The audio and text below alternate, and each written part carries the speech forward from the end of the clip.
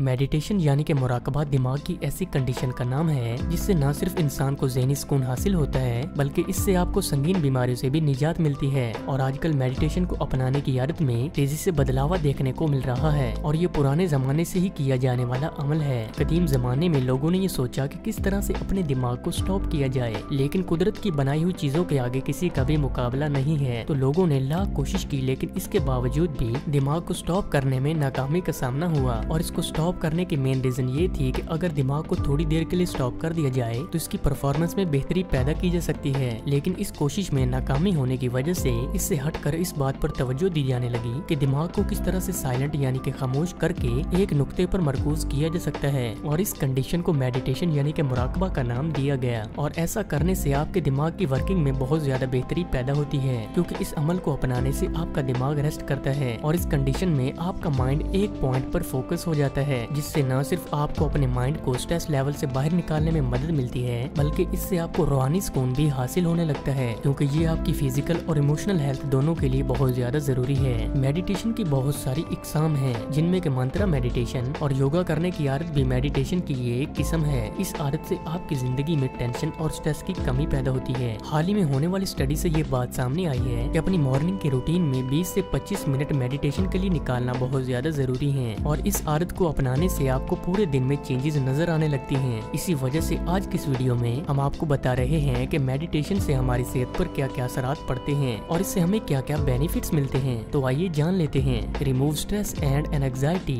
जहनी कशीदगी और दबाव को रिड्यूस करने के लिए भी मेडिटेशन का अहम किरदार है और बहुत ज़्यादा लोगों का रुझान इस मकसद के लिए माइंडफुल मेडिटेशन की तरफ़ देखने को मिल रहा है और स्ट्रेस लेवल को बढ़ाने वाले हार्मोन्स के बैलेंस को कायम रखने के लिए भी इंतहाई कामयाब है। जिन लोगों को मेडिटेशन की आदत पड़ जाती है और टेंशन के माहौल में भी खुद को रिलैक्स रख पाते हैं। इसी वजह से एक सेहतमंद ज़िंदगी के लिए बहुत ज़्यादा ज़रूरी है। कंट्रोल हाई ब्लड प्रेशर आप रोज़ाना मेडिटेशन को अपनी ज़िंदगी में अपनाने से हाई ब्लड प्रेशर को भी कंट्रोल में रख सकते हैं। क्योंकि हाइपर टेंशन यानी कि हाई ब्लड प्रेशर की सूरत भी जहनी दबाव और स्ट्रेस में इजाफा होने की वजह से ही पैदा होती है। लेकिन अगर मुराकबा करने की आदत को अपना लिया जाए तो इस कंडीशन में भी बहुत ज़्यादा इम्प्रूवमेंट लाई जा सकती है। Keep your brain healthy meditation खसूस दिमाग को सुकून फराम करने करने के लिए ही की जाती है और इसकी वजह से आपका दिमाग जल्दी बूढ़ा भी नहीं हो पाता, क्योंकि ये एक तरह की ब्रेन की एक्सरसाइज है। और योगा और मुराकबा की वजह से ही ब्रेन एक्टिविटी में बेहतरी पैदा होती है और दिमाग की वर्किंग में भी बहुत ज़्यादा इम्प्रूवमेंट होने लगती है। हज़ारों स्टडीज़ ने भी ये बात प्रूव की है की आपके दिमाग को सेहतमंद, मज़बूत और हेल्थी बनाने के लिए मेडिटेशन को अपनी लाइफ के रूटीन में अपनाना बहुत ज़्यादा ज़रूरी है। फाइट अगेंस्ट लोनलीनेस तनाई कुछ लोगों के लिए तो बहुत ज़्यादा अच्छी साबित होती है, लेकिन कुछ लोगों के लिए ज़्यादा संगीन बीमारियों का भी घर बन जाती है, क्योंकि बहुत सारे हेल्थ प्रॉब्लम्स को पैदा करने की बुनियादी जड़ भी तन्हाई को ही माना जाता है। बहुत ज़्यादा लोग ऐसे हैं जो कि तन्हाई को पसंद करते हैं, लेकिन ये आपकी हेल्थ के लिए बहुत ज़्यादा नुकसानदेह साबित होती है। तन्हाई के खिलाफ फाइट करने के लिए आप मेडिटेशन का सहारा ले सकते हैं, क्योंकि तन्हाई पसंद लोगों का बिहेवियर भी तब्दील हो जाता है, और लोगों से कम बात करना और अपने आप में ही मगन रहने के अलावा सेहत पर भी बुरे असर पड़ते हैं। मेडिटेशन को अपनी लाइफ के रूटीन में अपनाने से हज़ारों बीमारियों से निजात हासिल की जा सकती है, और ऐसे लोग जो कि तन्हाई को बहुत ज़्यादा पसंद करते हैं। उनकी ज़िंदगी में पैदा होने वाले तासरात को रिड्यूस करने के लिए भी मेडिटेशन का सहारा लेना बहुत ज़्यादा ज़रूरी है। Prevent from genetic problem